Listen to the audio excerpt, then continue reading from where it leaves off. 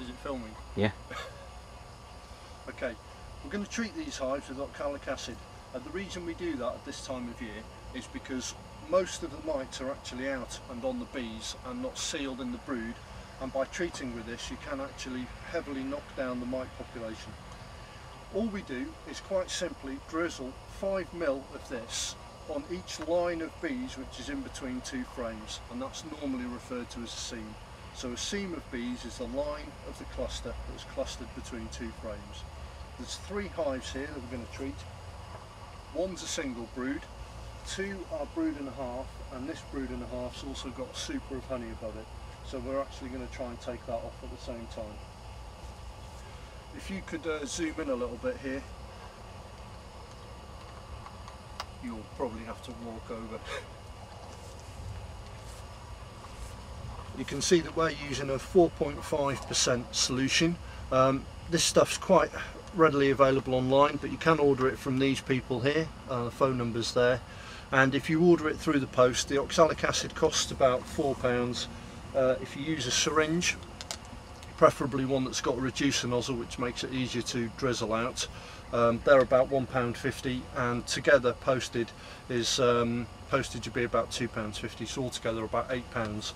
If you're only treating one hive you can buy like a little ready treater which comes ready to drizzle with the oxalic acid in it. So what I'm going to do now is I'm going to empty the oxalic acid out into a cup um, using a honey jar would be easier then I'm going to have a look and see how many seams that I need to treat in this hive and then I'm simply going to drizzle it in. We have got a smoker here which is lit and ready but we're unlikely to use it. Um, the other tools you would need is um, a hive tool and a torch but we haven't got a torch because we forgot to bring one.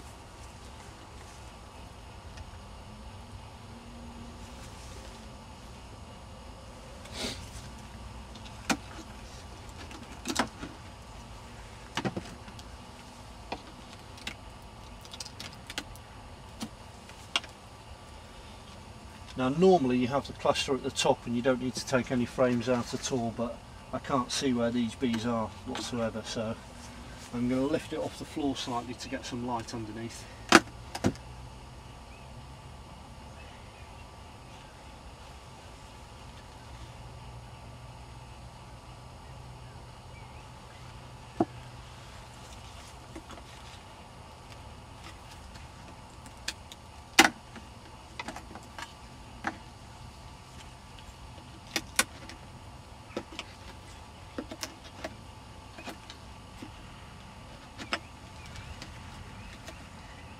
No, and I couldn't see one because there isn't one in there, so unfortunately that colony's died out.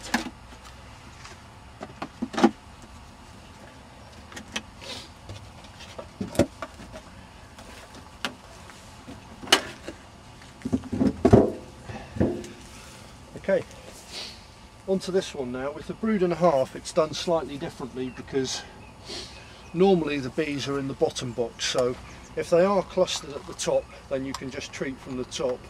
But have a check, and if they're not in the top box, then you will need to go into the bottom box simply by tipping the top box up in the same way that you would do in a tip inspection.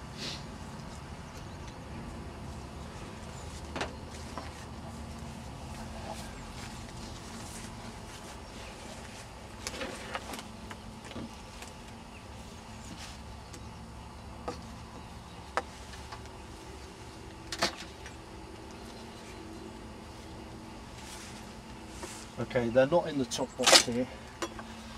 And I'm not going to tip this because it's actually empty and there's a queen excluder in there as well. So I'm going to remove this excluder and then cover them back over with the board for a minute.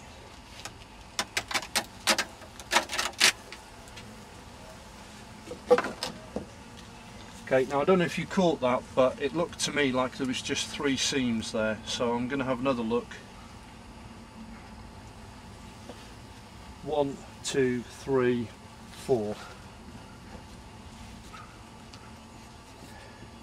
I'm keeping them covered over so as not to excite them. So 5 mil per seam, 4 seams is 20 mil.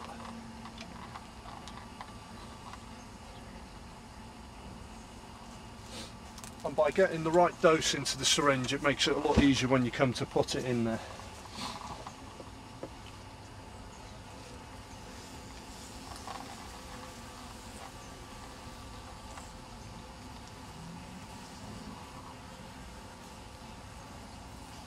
Can see that I'm down to 10 mil and I'm halfway through.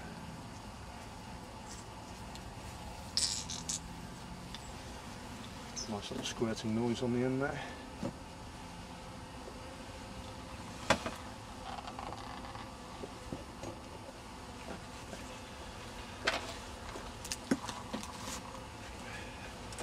Before I put this roof back on I'm just going to give this hive a little heft because I couldn't see an awful lot of food in there.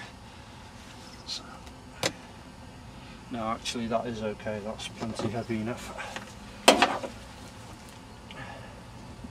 So there we go, there's four seams in there and we gave them 20 mil, so that's 5 mil per seam. I'm just going to move some of this equipment out here to give myself a little bit of space.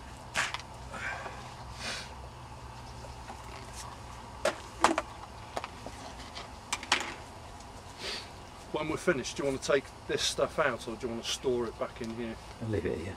Store it here? Yeah.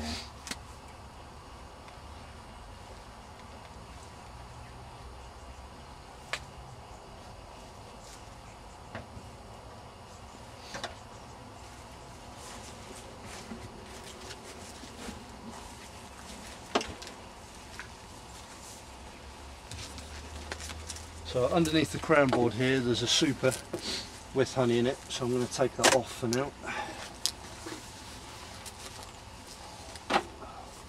It's quite heavy.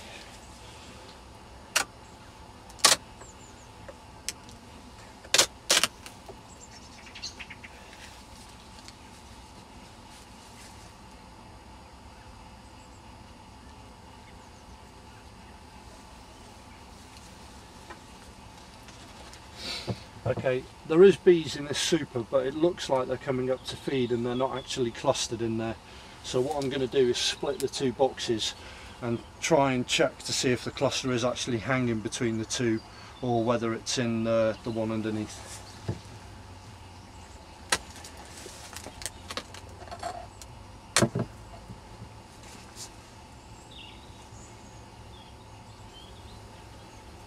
Yeah, they are actually clustered between the two boxes.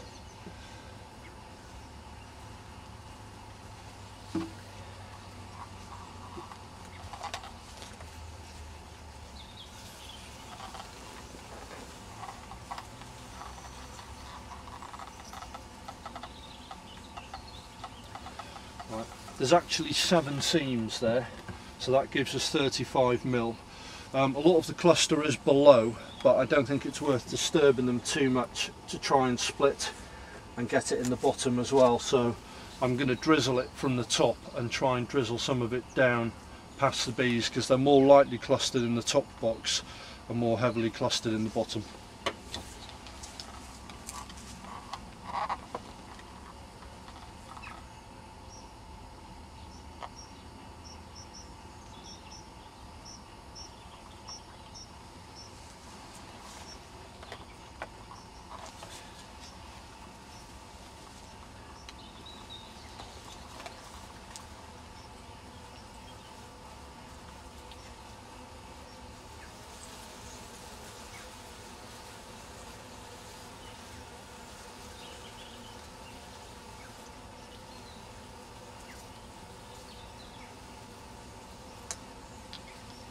There we go, 35 mil in there.